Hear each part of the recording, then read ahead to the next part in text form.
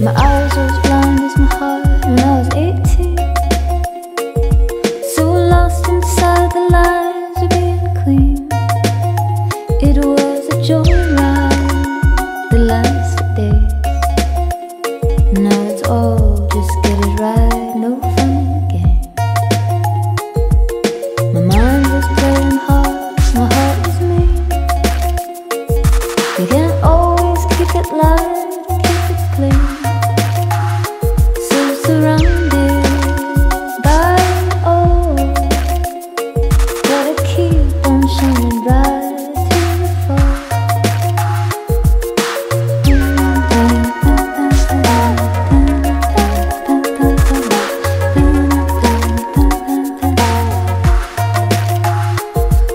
understand